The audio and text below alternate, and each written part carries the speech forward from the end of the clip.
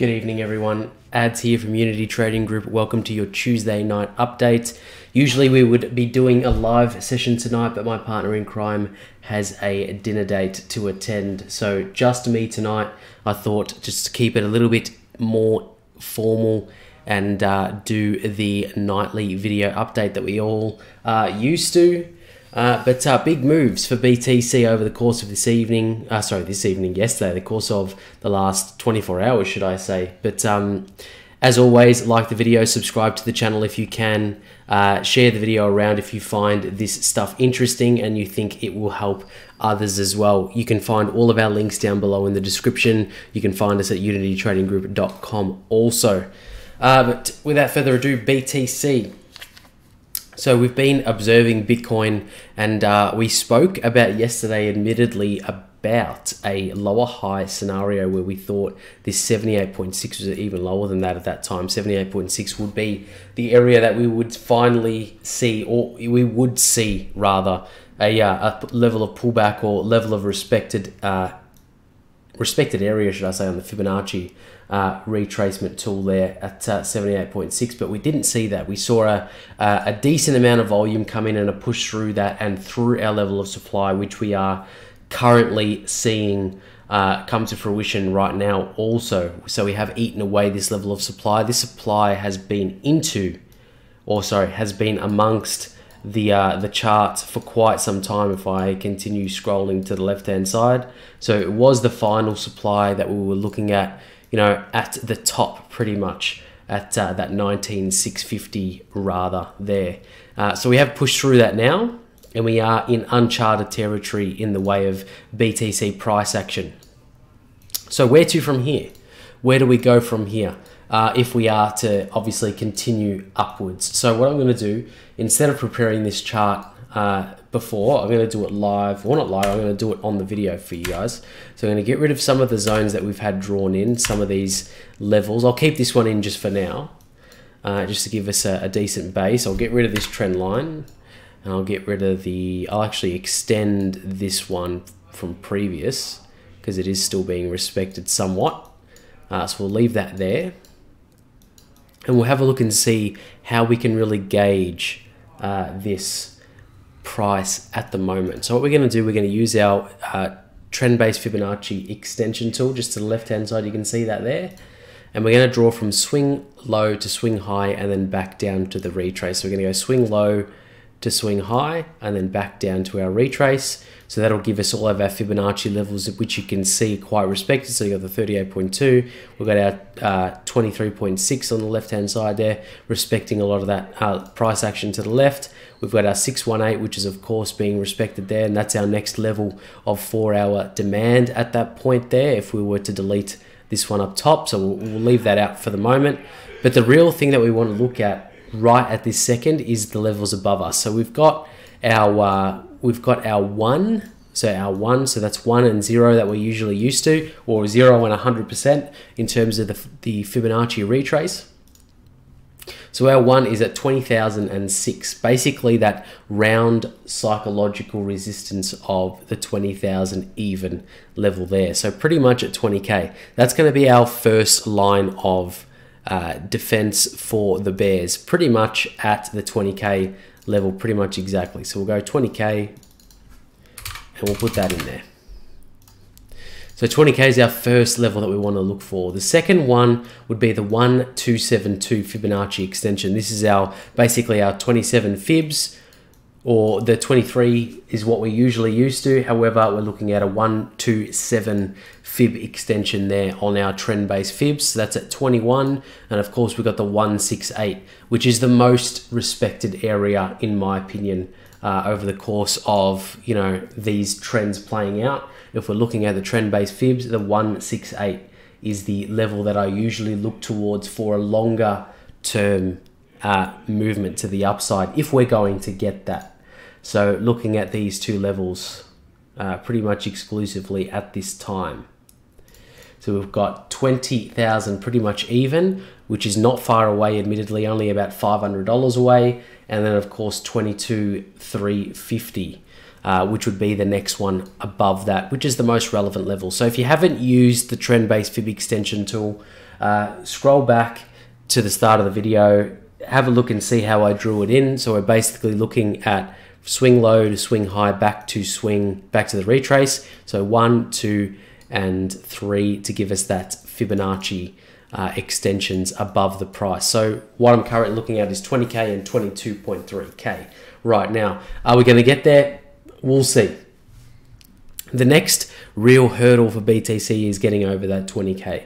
Um, on this four hour time frame, however, and if I get rid of this level of uh, supply at the moment. What we're seeing, what we're observing is there's a couple of levels that I'm really looking for. And uh, of course, we can't draw in any supplies, but of course, we can draw in our demand levels. So, of course, we've got the one just below here. So, we've made a significant market pivot point down here at around this 16800. And uh, just because I'm identifying some levels lower doesn't mean we can't get there, of course. So 16800 and of course just below that we've got our 16k. So those two levels pretty much can be merged into one in my opinion and uh, we form a decent level of support at around that 16.5, 16k mark. Whoops. And of course we've got the level that is based around our 61.8 which is the final push or the final candle or the bearish candle before uh, our level to the upside. And this really coincides very well with this 61.8. That's the main reason why I'm drawing it there because we've got our 618 Fibonacci uh, extension point there. And of course, we've got some more levels underneath that are quite relevant, like the 0.5 and the 38.2, which is at 17, uh, sorry, 18.1 and 17.6 respectively. So that's uh, going to be an interesting one over the next little bit. If we are to, to really look at Steamroller, Steamroller is quite accurate on the four hour time frame uh, on BTC as of late, and it has been for quite some time. If you go back and really back test even the overbought conditions on the four hour time frame, they really give you uh, a decent indication on when we can be expecting somewhat of a pullback, even if it's short lived.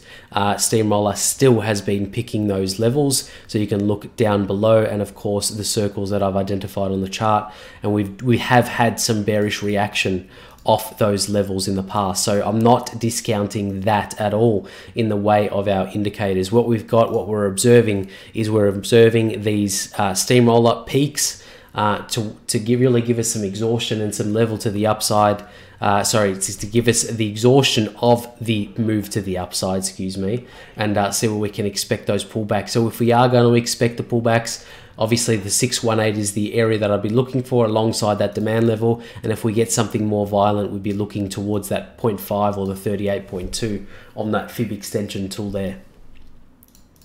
But not only that, we've got some bearish divergence forming on the CCI, and that was terrible. Um, let me draw that in properly with a trend line. There we go. We've got some bearish divergence forming at that point where we've got uh, this sort of happening, where we've got ascending price action and descending uh, CCI that engage that uh, really suggests a little bit of weakness there, and of course the same thing occurring on RSI. However, we've got a, a longer really sort of time frame for that. So the CCI is a little bit better in this instance uh, to give us that early indication of a bearish divergence uh, if we're going to form one. But uh, in any case, we have really outdone ourselves in the way of BTC to an upside, you know, sort of potential where we we initially thought we were going to be caught up for quite some time at this 20k or this this longer term level of supply in which we have broken through now. So we're looking at our Fibonacci extension tool for the areas to the upside where we where we're looking towards. There is quite a number of them that uh, that come up there when you uh, draw the uh, Fibonacci extension in. But of course, that psychological round number of 20k really stands out to me if we're going to see some more movements to the upside in the immediate short term. So I'd be looking towards that, of course, and looking out at our uh, levels in terms of our indicators to really gauge some pullbacks. But I'll be looking at those demands and those Fibonacci areas for now. Moving on, I will look at ETH and then I will have a look at a, at a request that is ADA. Then we'll have a look at the DXY to conclude. So Ethereum, Ethereum is doing quite nicely and it is respecting our level of supply really, really nicely at the moment. Um, what I'm looking for now is I'm looking for a pullback on Ethereum, the exact same sort of scenario that we're looking at BTC, but on a very shorter scale of things. So if I draw in the level of uh, fibs. We've got our swing low to swing high. This is our traditional fibs, not the trend based. And i am seeing a number of levels really appear on my chart to really gauge where we could go. So if I identify these levels, I'm looking at the 23 for a really short term. I'll probably get rid of that just for now. Uh, use the Fibonacci, but I would be looking at this golden pocket area, this 50. Uh, to, one sec, I'll draw it in properly. This between the 50 and the 61. So we've got a really nice uh, area of demand between those two levels there, and uh, we usually call it the golden pocket. Uh, and I'd be looking towards that if we do get a, a, a, larger retrace on Ethereum for the immediate term. So I'd be looking towards the obviously the 38, the 50, and the 61, but this golden pocket, this 50, 61 area, uh, does stand out. But I'll be waiting a little bit, a little bit longer in, in this instance for a pullback. I'll be waiting for some a little bit of relief or some respected candles off this level of supply before we really look for downwards movements. So I'd be looking uh, towards this evening and, and, of course into tomorrow morning for some areas. What I usually would do in this instance, I would personally be looking for areas to enter at around the 38, the 50, the 61, but I'll be look, probably setting some alerts uh, on some lower lows on the smaller time frames to really indicate if we are going to start moving towards that bottom area. ADA USDT is the next one I want to have a look at, and the exactly the same sort of scenario that we're seeing on ETH USD uh, is coming to fruition on ADA USDT. And uh, I have been trading ADA for quite some time, as you all know, if you've been following me in the Discord for quite some time now. Uh, and uh, ADA has been pretty good to us here at UTG, and we're looking at the same sort of levels here for ADA. So I'm looking at a longer term swing low to swing high area, and uh, we've seen the 23 and the uh, the level of supply there being respected for quite some time. In my real opinion here, this is going to be my opinion. Uh, we could see ADA push through this and towards the upper bands or the upper levels, that is 18, 19 cents. But in my opinion, it does need some more movement to the downside. I'll be looking towards that uh, that first or second area, which is a 23 and the 38 Fibonacci, to really give us that movement to the downside. Uh, it really comes down to how we're looking. So we're really in no man's land in the way of our indicators on the four-hour time frame. And if I'm looking at a daily time frame as well, uh, we are quite overbought still. Uh, whoops, wrong one. Uh, we are quite overbought still on the daily time frame. We have had some really sharp reactions off these level of supplies and of course the, the levels of demand as we saw that wick come down and wick down to 11 cents before moving back up to around 17 so a decent swing if you're in the market for sink bids and stuff like that but there's all the chance that we could move back up and to that negative 27 and of course that 22 level of supply up the top. But in my opinion or in my instance i'm waiting for a little bit more of a pullback towards that 23 and that 38 fibonacci uh, levels there that we see 23 and 38 the last one we'll have a look at tonight is the DXY. It is a little bit of a longer video that we're usually used to. The DXY is a regulated market and this is not financial advice, just ideas and opinions of Team UTG, but it has reacted in the way that I really expected last night. So if you didn't watch last, last night's video on the DXY, head over to our channel and watch yesterday's video. Uh, but what happened, what came to fruition last night was what we said. We were looking at this level of steamroller. So if we see steamroller down the bottom, give us that green signal down there. Um, that really indicates that the the asset or the trading pair that we're looking at really needs a little bit of relief to the upside, even if it's short lived. And that's what we got. So steamroller is really nice and accurate uh, on all these uh, regulated markets. You can get our free trial at www.unitytradinggroup.com, and uh, that link is down below in the description as well. So we do a 10-day free trial for Steamroller. So you, there's uh, no obligation to continue. If you want to give it a go for a week or 10 days, then you can. But the DXY, where do I expect it to go?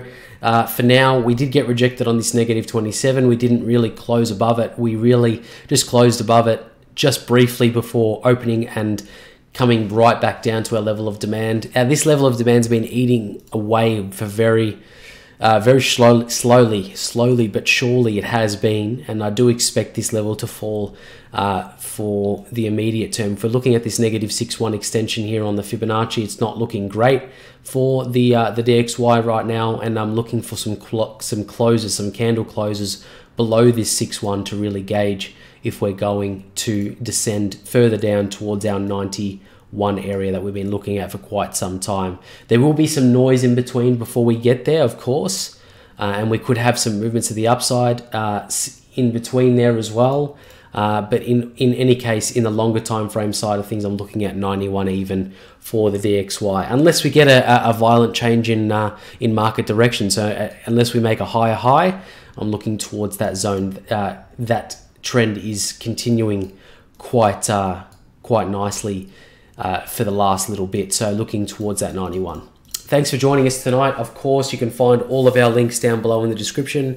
Give us a like, uh, subscribe if you like, and uh, if you found all of this interesting and valuable. Uh, I'm Ads from UTG, and I'll see you tomorrow night.